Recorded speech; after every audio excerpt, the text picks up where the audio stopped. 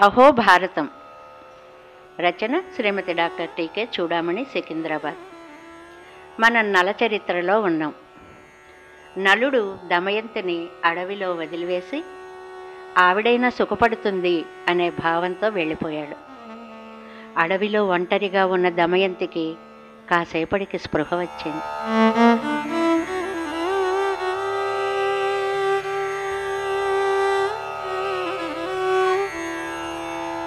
చూస్తే పక్కన నలుడు లేడు. చీర సగం చెంపినట్లు గుర్తించింది ఆవిడ ఒక్కసారి అన్ని వైపులా చూసింది.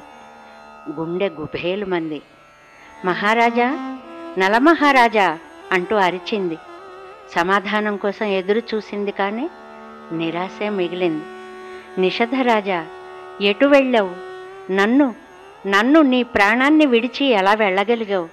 ధర్మాత్ముడవే సత్యసంధుడవే నన్ను బాధలలో ఓదార్చిన వాడవే ఈనాడు ఎందుకింత కఠినాత్ముడవయ్యావు స్వామి? ఈ భయంకరమైన అడవిలో ఇప్పుడు నేనేం కావాలి చెప్పు? నేనేం చెయ్యాలి చెప్పు? ఇదే అరణ్యరోదనం అంటారేమో. నన్ను ఎప్పుడు విడిచిపెట్టనని మాట ఇచ్చావే? ఆడిన మాటని ఎలా తప్పగలిగావు స్వామి? బాబోయ్ ఈ అడవి ఈ భయంకర శబ్దాలు ఈ జంతువులు ఈ పాములు రాజా ఎక్కడున్నావు? ఎటు వెళ్ళావు? కన్నీరు మున్నీరే అయింది దమయంతికి దూరంగా గాండ్రింపు శబ్దం వినిపించింది.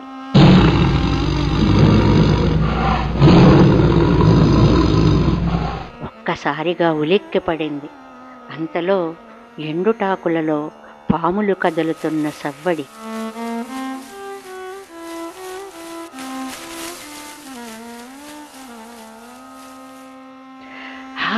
దూరంగా ఎలుగు. అబ్బా కాలు చూసుకోకుండా ముళ్ళుపై వేశానా? ముళ్ళుగీరి రక్తం ధారలు కట్టేసింది. అయ్యో ఏ పాపం చేశానని నాకు ఈ స్థితి నన్నేదో చుట్టేస్తోంది బాబోయ్. కొండ చిలువ కొండ చిలువ.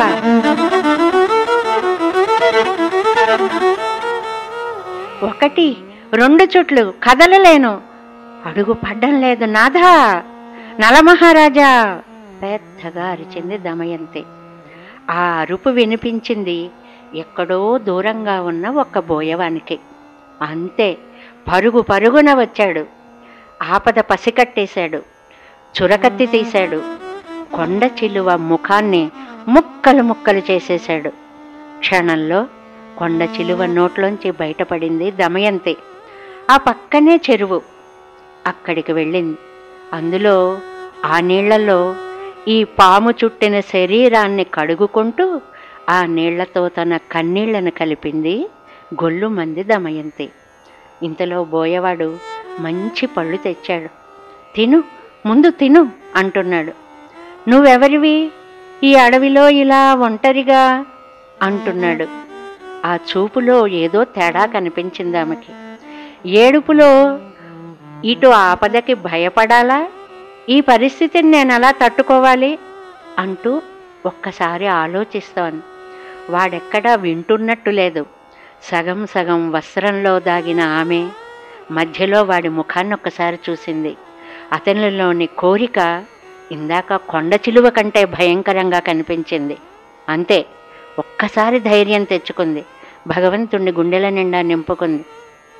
హే దైవమా నేను నలమహారాజును తప్ప ఇతరులను కలలో కూడా స్మరించని దానినైతే ఈ కిరాతుడు కుప్పకూలుగాక.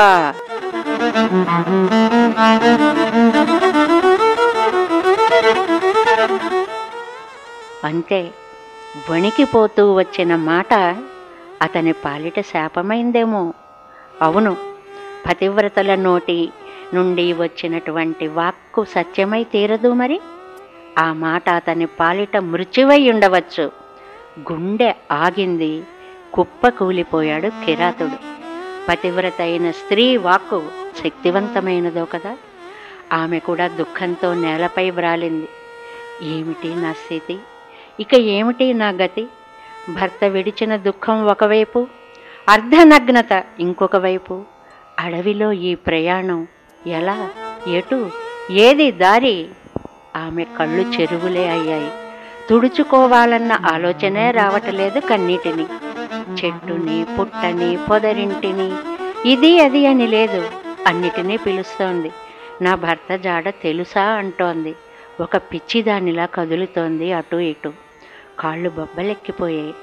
అటు కొండ చర్యలు ఇటు గుహలు ఆహా లోయలు గుట్టలు నాథ నాథ అన్న దమయంతి ఆక్రందనతో నిండిపోయాయి.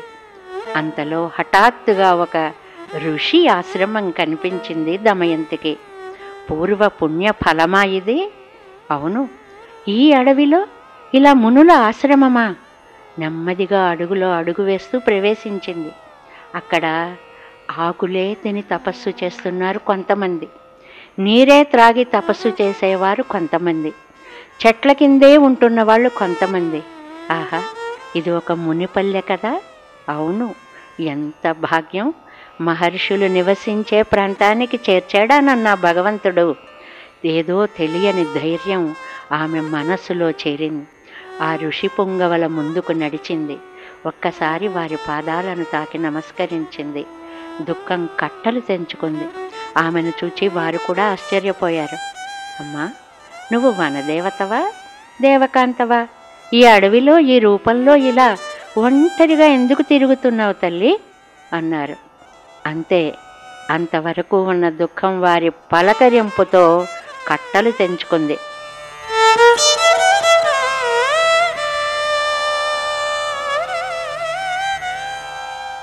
ఎలాగో దుఃఖాన్ని ఆపుకుంది. అయ్యా నేను నేను మహానుభావుడైన నలమహారాజు భార్యను. నా కర్మ చూడండి. ఈ అడవిలో నన్ను ఒక్కదాన్ని ఇలా ఒంటరిగా వదిలేసి వెళ్ళిపోయాడు నా భర్త. అతనిని వెతుకుతూ మీ సన్నిధికి చేరుకున్నాను. ఆయన గాని మీ దగ్గరకు వచ్చాడా స్వామి? ఇటువైపు ఏమైనా వచ్చాడా? మీకేమైనా అతనిని గూర్చి తెలుసా? దయచేసి చెప్పండి స్వామి చెప్పండి స్వామి ఆర్తిగా అడిగింది దమయంతి. అమ్మా ఒక్క మాట విను. త్వరలో నీ కష్టాలన్నీ తీరిపోతాయి తల్లి. నీ భర్తను నువ్వు మళ్ళీ కలుసుకుంటావు. పూర్వ వైభవాన్ని పొందుతావు. మేము తపోదృష్టితో భవిష్యత్తు చూచి చెప్తున్నాం తల్లి. శోకించకు ధైర్యంగా ఉండు అని అంటున్నారు. ఇలా అంటూ ఉండగానే ఆ ఋషులు ఆ వనం ఆ చెట్టు ఆ పూలు ఆ పళ్ళు అరే అన్నీ మాయమైపోయాయి. ఇది కళా నిజమా? నిర్ఘాంతపోయింది దమయంతి. ఇంతలో కొందరు వ్యాపారులు గుంపులు గుంపులుగా అడవిలో పోతూ కనిపించారు. ఎంతో ఆతృతతో పరుగు పరుగున వారిని చేరింది దమయంతి. ఎన్ని రోజులుగా ఆహారం లేదు నిద్ర లేదు శరీరానికి సంస్కారం లేదు అసలు పూర్తిగా వంటిపై వస్త్రమే లేదే. అయ్యో ఈ రూపాన్ని చూచి వారంతా ఏమనుకుంటారో అని భయపడుతూనే ఉంది. అనుకున్నంత అయింది. దెయ్యం దెయ్యం అంటూ పరుగులు తీశారు వారిలో కొంతమంది. కొందరు హే హీ చీ అంటూ ఆట పట్టించారు. ఒకరిద్దరు దగ్గరగా చేరి ఏయ్ ఎవరివి? ఏంటి వెతుకుతున్నావు? అంటూ డబాయింపుగా మాట్లాడారు. మరికొందరు ఇంత అందమా? ఎప్పుడు చూడలేదే? అంటూ చేతులు జోడించారు ముక్కున వేలేసుకున్నారు. అయ్యలారా నా పేరు దమయంతి. నా భర్త నలమహారాజు. ఈ అడవిలో నన్ను ఇలా ఒంటరిదాన్ని చేసి ఇలా చేసి నన్ను విదిలిపెట్టి వెళ్ళిపోయాడు. ఆయన మీకెక్కడైనా కనిపించారా? మీరెక్కడైనా నలమహారాజును చూశారా? ఎంతో దుఃఖంతో అడిగింది దమయంతి.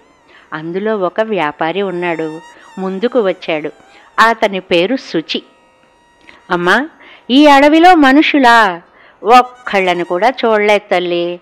ఇంకా చెప్పాలంటే అబ్బో సింహాలు ఏనుగులు ఎలుగుబంట్లు అసలు సూర్యరశ్మి వస్తుందా ఏంటి తల్లి ఈ అడవిలోకి? మనుషులు ప్రవేశించడం ఎంత కష్టం? దీన్నే కాకులు దూరని కారడవి చీమల దూరని చిట్టడవి అంటారు. అయినా తల్లి ఇలాంటి అడవిలోకి నువ్వెలా వచ్చావమ్మా? అన్నాడు. ఎక్కడికి పోతున్నారయ్యా మీరందరూ? అంది. చేది దేశం. అక్కడ రాజు సుబాహువు. ఆయన రాజధాని నగరానికి మేమంతా బయలుదేరాం. మేమంతా వ్యాపారులమమ్మా అన్నాడాయన అయ్యా నేను కూడా మీతో వస్తా. రావచ్చా? నన్ను తీసుకుని వెళతారా? దీనంగా అడిగింది దమయంతి. అయ్యో మాకేం అభ్యంతరం లేదు తల్లి? మాకేం కష్టం చెప్పు నేను అడక నువ్వు నడుస్తావురా? అన్నాడాయన వాళ్ళతో వాళ్ళతో కలిసి నడిచి నడిచి నడిచి అబ్బబ్బా కాళ్ళు బబ్బలెక్కిపోయి అడుగులు పడటం లేదే? ఒక చెరువు దగ్గర వారంతా విశ్రాంతి కోసం ఆగారు. ఇంతలో అలసట శరీరానికి ఏముంది ఎప్పుడు అలసట కలిగితే అప్పుడు మనకి తెలియని నిద్రమన్నీ ఆవరించేస్తుంది. చూస్తుండగా అర్ధరాత్రి అయిపోయింది ఆ చెరువుకి అడవికి ఏనుగులు రోజు రాత్రిపూట నీళ్ళు తాగడానికి వస్తుంటాయి వాటి కాళ్ళ కింద పడి పాపం ఈ పడుకున్న వ్యాపారులలో చాలామంది చూస్తూ ఉండగా చచ్చిపోయారు. ఇంకా ఏనుగులు విజృంభించాయి చూడండి. చెట్లెక్కేస్తున్నారు కొందరు పరుగులు పెట్టేస్తున్నారు కొందరు ఆహాకారాలు చేస్తున్నారు కొందరు ఓ ఓ అంటూ అరుపులు అరుస్తున్నారు కొందరు. ఆ గోలలో దమయంతి లేచి చూసింది దూరంగా నిలబడింది ఒక చెట్టు పక్కన నక్కి ఆగింది. దైవమా బ్రతుకు మీద ఆశతో ఉన్న వాళ్ళందరినీ చంపేశావా? ఈ బ్రతకాలని ఆశ ఉన్న వాళ్ళని చంపేశావు ఎందుకయ్యా? చావాలనే కోరిక గల నాలాంటి దాన్ని చంపేయొచ్చు కదా. నన్నెందుకు ఇలా బ్రతికించి ఉంచావు చెప్పు ఏమిటయ్యా నే లేలా? ఏడవాలా? లేదు ఏడ్చే శక్తి నాకెక్కడుంది? నాకే ఎందుకు ఈ కష్టం ఇలా వచ్చింది? ఆనాడు దేవతల్ని తిరస్కరించినందుక అదే అయి ఉంటుంది వాళ్ళు కల్పించిన కష్టాలా ఇవి? అరణ్య బాధ పోతుందని ఈ వ్యాపారులతో చేరానే నేను చేరేటప్పటికి వీరందరికీ కూడా ఇలాంటి స్థితి కలిగిందా? అయ్యయ్యో ఏం జరుగుతోంది? పాపం కొద్ది కొద్దిగా కదులుతున్నారు కొందరు. నెమ్మదిగా బయలుదేరుతున్నారు కొందరు. నేను ఎలాగో వాళ్ళల్లో కలిసిపోతాను. ఆ, వాళ్ళంతా నా వైపు ఎంత కోపంగా చూస్తున్నారో. అవును నీ వల్లే ఇంత ప్రమాదం వచ్చింది అంటున్నారు కూడా వినిపిస్తున్నాయి ఆ మాటలు. దైవమా ఇందులో నా పాత్ర ఎంత చెప్పు? నేనేం చెయ్యను? అయినా నేను చేయని తప్పుకి నేను దిగులు పడి కూర్చుంటే కాలంలో నేనేం సాధించగలను చెప్పు? ధైర్యం తెచ్చుకుంటాను. ఎప్పుడూ కూడా శోకం అనేది దైన్యంగా ఉన్న మనస్సు ఉన్నవాళ్ళు చేసే పని. నేను ఈ శోకాన్ని జయిస్తాను. నెమ్మదిగా వీరందరితో కలిసి ప్రయాణం చేస్తాను. లేకపోతే ఈ అడవిలో ఎటు వెళ్ళాలో ఏం చేయాలో దారి తెన్ను నాకేమీ తెలియదు. వీరితో నేను చేది దేశం చేరతాను. తర్వాత చూద్దాం ఏం చేయాలో. ఇన్ని మనసులో అనుకుంటూ యాంత్రికంగా అనుసరించింది వారిని దమయంతి. ఎలాగైతేనే కొన్నాళ్ళకు చేది దేశం చేరారు వ్యాపారులంతా. వారినే అనుసరిస్తూ వారికి కొంచెం దూరంగా వెనుకగా రాజమార్గంలో నడుస్తోంది దమయంతి. పిల్లలంతా ఓ పిచ్చిదాని చుట్టూ చేరినట్లు దమయంతి చుట్టూ చేరారు. అదే సమయంలో దూరంగా రాజమాత మేడపై నిలబడి ఉంది. దమయంతిని చూసింది. నిర్ఘాంతపోయింది. ఇంత సౌందర్యమా? ఏమిటి అందం? ఏమిటి రూపం? అయ్యో ఇంత రూపవతికి ఈ వస్త్రధారణ ఏమిటి? ఆ చిరిగిపోయిన చీర ముక్క ఏమిటి? అయ్యో అందరూ అలా భయపెట్టేస్తుంటే పరుగులు తీసేస్తోంది పాపం అనుకుంటూ ఒక్క క్షణం ఆగింది. దాదిని పిలిచింది. చూడు లక్ష్మీదేవి వేషంలో వచ్చిన ఆ అమ్మాయిని ఒక్కసారి చూడు. సాక్షాత్తు లక్ష్మీదేవి ముఖ కళ ఆమెలో ఉట్టి పడడం లేదు. వెంటనే అమ్మాయిని నా దగ్గరకు తీసుకునిరా అంటూ తొందర చేసింది. క్షణంలో దాది దమయంతి ముందు నిలబడింది. అమ్మా నీవెవరివి? ఇలా శోకమూర్తిలా ఉన్నావేంటి? అంటూ ప్రేమగా పలుకరించింది. ముఖం ఎత్తదే దమయంతి. ఇంకా భూమిలోకి ఇంకా భూమిలోకి వంచేస్తోంది తలని. అమ్మా నువ్వు అడిగావు ఏం చెప్పమంటావు? నా భర్త వీరుడే. కానీ జూదమాడాడమ్మా జూదం అందులో అన్నీ పోగొట్టేసుకున్నాడు. అడవుల పాలయ్యాడు. భర్తని విడిచి ఉండడం ఒక పతివ్రతకి ధర్మం కాదని నేను కూడా అతన్ని అనుసరించి వచ్చాను తల్లి. కానీ నా కర్మ ఈ కర్మకులది ఒక చోట ఒళ్ళు మరిచి పక్కనే భర్త ఉన్నాడు కదా అనే ధైర్యంతో నిద్రించాను. అప్పుడే సరిగ్గా అప్పుడే. నన్ను మోసం చేసేసి నన్ను వదిలిపెట్టేసి నన్ను ఒంటరి దాన్ని చేసేసి అడవిలో ఆ కారడవిలో విడిచిపెట్టి వెళ్ళిపోయాడు తల్లి. చిన్న వస్త్రంతో ఉన్నాడు అతను కూడా. నిలువ నీడ లేదు అతనికి కూడా. పాపం ఏమయ్యాడో ఏమిటో. నన్ను గురించే నేను దుఃఖిస్తున్నాను గాని వెళ్ళిపోయిన అతడెలా ఉన్నాడో. తలుచుకుంటేనే గుండె దడ దడలాడిపోతోంది దుఃఖం చెరువులా కట్టలు తెంచుకుంటోంది. అతన్ని వెతుకుతూ వస్తున్నాను తల్లి. ఏడుపు మధ్య నెమ్మదిగా తన కథని చెప్పింది దమయంతి. రాజమాత దగ్గరకు తీసుకొని వచ్చింది. తల ఎత్తలేదు దమయంతి. అమ్మా ఇటు చూడు అంది రాజమాత. నెమ్మదిగా కూడా తల ఎత్తలేదు. పైగా పక్కకి తిప్పుకుంది. అమ్మా నువ్వు నా దగ్గరుండు. నీ భర్తని నేను వెతికిస్తా కదా. నీకేం భయం లేదు తల్లి. అంది. అమ్మా నేను నీ దగ్గర ఉంటాను. ఆపదలో ఇలా ఆ- ఆదుకుంటున్న నీకు ఎలా కృతజ్ఞత చెప్పాలో తెలియడం లేదు తల్లి. అయితే ఒక్క మాట. నేను సైరంధ్రిగా జీవితం గడుపుతా తల్లి. నువ్వు ఆశ్రయం ఇస్తానంటున్నావు. మరి నాకు కొన్ని నియమాలున్నాయి. అవి పాటించగలవా నువ్వు? అంది రాజమాతని తల వంచుకుని. చెప్పు తల్లి ఏమిటో ఆ నియమాలు? చాలా ఆత్రంగా అడిగింది రాజమాత.